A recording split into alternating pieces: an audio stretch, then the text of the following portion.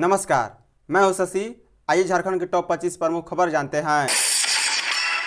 नियोजन नीति में संशोधन, झारखंड से मैट्रिक इंटर पास होने की बाध्यता खत्म। मुख्यमंत्री हेमंत सोरेन के नेतृत्व में हुई कैबिनेट की बैठक में सैंतीस प्रस्ताव पर मुहर लगी है। कैबिनेट सचिव अजय कुमार सिंह ने जानकारी देते हुए कहा है कि कैबिनेट ने ओलंपिक खेलों में राज्य का प्रतिनिधित्व करने वाले खिलाड़ियों के नगद पुरस्कार में बढ़ोतरी सहित सैंतीस प्रस्ताव पर मुहर लगा दी है।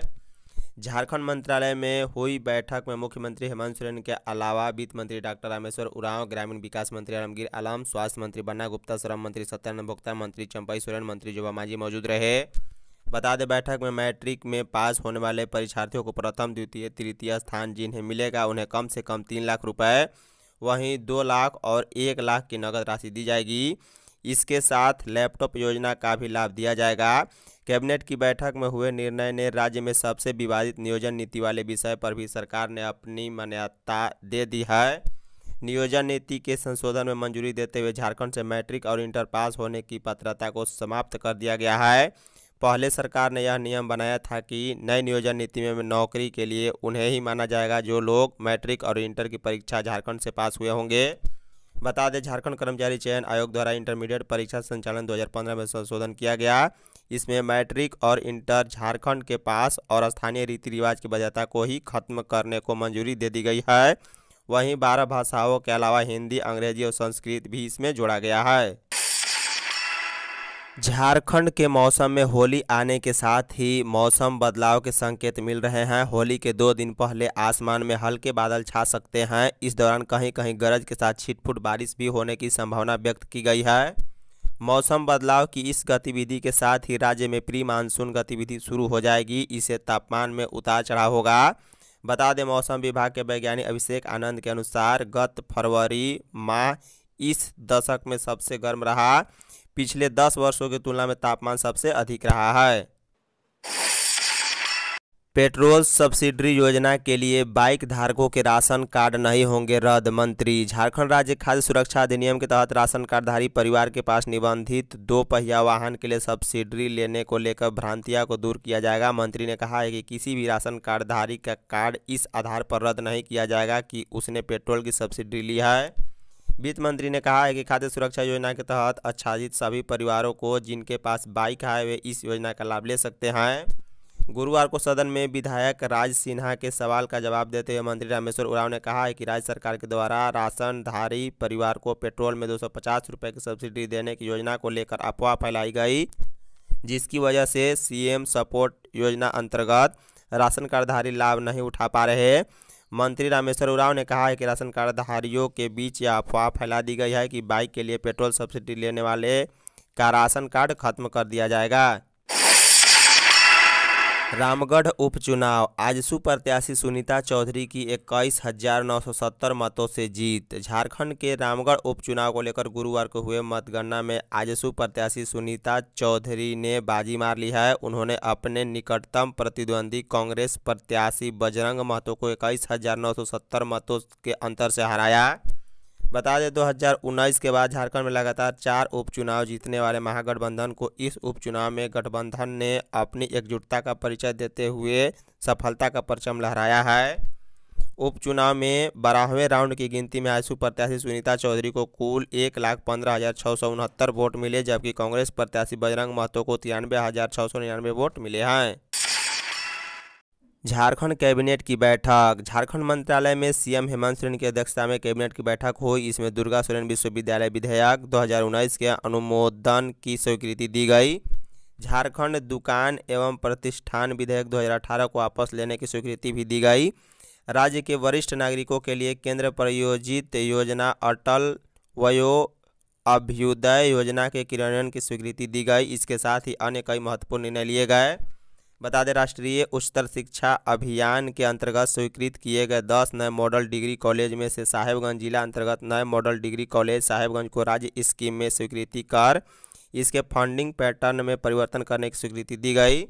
वहीं खाद्य सार्वजनिक वितरण एवं उपभोक्ता मामले विभाग रांची में दैनिक परिश्रमिक परिश्रमिक पर नियुक्त दो कर्मियों की सेवा नियमितीकरण की स्वीकृति भी दी गई है। हेमंत सरकार को भाजपा विधायकों ने घेरा, लगाया भ्रष्टाचार में लिप्त रहने का आरोप। झारखंड विधानसभा के बजट सत्र का चौथा दिन जोरदार हंगामेदार हुआ। सबसे पहले तो विधानसभा बजट सत्र के चौथे दिन विपक्ष के विधायकों ने विधानसभा के मुख्य द्वार पर प्रदर्शन किया और जमकर नारेबाजी की। विपक्ष के विधायकों ने भ्रष्टाचारी मुख्यमंत्री इस्तीफा दो खद्दान को लूटने वाले सरकार इस्तीफा दो के नारे लगाए। विधायक अमर कुमार बावरी ने कहा है कि झारखंड पहला राज्य है जहाँ मुख्यमंत्री समेत उनके मंत्रिमंडल के कई मंत्री और अधिकारी भ्रष्टाचार में लिप्त हैं। ऐसी सरकार को सत्ता में बने रहने का कोई अधिकार नहीं है। उन्होंने कहा है कि झूठे वादे के बल पर सत्ता में आई यह सरकार जनता के कल्याण की जगह अपनी जेब भरने में लगी हुई है। नियोजन नीति का नहीं बनना, स्थानीय नीति पर जनता को गुमराह करना इस सरकार की नियति है। पारा शिक्षकों को मानदेय का होगा भुगतान। झारखंड के सैंतीस सौ पारा शिक्षकों को जनवरी 2022 में हुई बढ़ोतरी को घटाकर मानदेय का भुगतान किया जाएगा। ये वैसे पारा शिक्षक हैं जिनके सर्टिफिकेट की अब तक जाँच नहीं हो सकी है। बता दें, इनके प्रमाण पत्रों की जाँच पूरी होने और नियुक्ति प्राधिकार की ओर से अनुशंसा आने के बाद उन्हें बढ़ा हुआ मानदेय मिलेगा। इसी आधार पर जनवरी 2023 के प्रभाव से प्राथमिक स्कूलों के टेट पास पारा शिक्षकों, जिनके सर्टिफिकेट की जाँच नहीं हो सकी है, उन्हें चौदह हज़ार और जो केवल प्रशिक्षित हैं, उन्हें बारह हज़ार का मानदेय मिलेगा। वहीं मिडिल स्कूल के टेट पास पारा शिक्षकों को पंद्रह हज़ार और केवल प्रशिक्षित को तेरह हज़ार का मानदेय दिया जाएगा। झारखंड में नौकरी के लिए राज्य से मैट्रिक, इंटर बाध्यता खत्म। झारखंड में सरकारी नौकरियों के लिए राज्य के मान्यता प्राप्त स्कूल से दसवीं और बारहवीं की बाध्यता को हटा दिया गया है। अब बाहर से भी मैट्रिक, इंटर करने वाले यहाँ नौकरी पा सकेंगे। मुख्यमंत्री हेमंत सोरेन की अध्यक्षता में हुई कैबिनेट की बैठक में नियोजन नीति में बड़ा बदलाव लाते हुए यह फैसला लिया गया। बैठक में कुल सैंतीस प्रस्ताव पर मुहर लगी है। बता दें जेएसएससी परीक्षा इंटर प्लस टू स्तर संचालन नियमावली 2015 स्नातक स्तरीय परीक्षा नियमावली, स्नातक व विशिष्ट योग्यता वाले पद नियमावली, डिप्लोमा नियमावली, झारखंड सेवा संवर्ग नियमावली में परिवर्तन किया गया है। सभी नियमावली से दसवीं व बारहवीं राज्य से करने वाले स्थानीय रीति रिवाज व भाषा ज्ञान की कंडिका हटा दी गई है।